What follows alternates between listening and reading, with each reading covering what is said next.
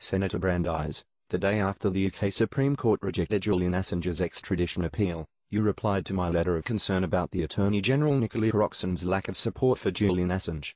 In your letter you wrote, The coalition condemns the irresponsible disclosure of sensitive national security information by WikiLeaks. I should add that WikiLeaks disclosures showed corruption and war crimes of governments.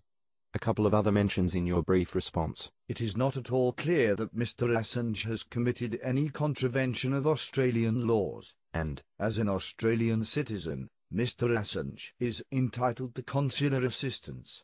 It does not involve any advocacy on his behalf. Yet, the coalition's opposition foreign affairs Julie Bishop recently said, Julian Assange had not received as much assistance as Australian lawyer Melinda Taylor, who was being held in Libya and that the Australian people will want to understand why it is that our political leaders will intervene in some cases and not others. My question is simply, would Julian Assange be worse off under a coalition government?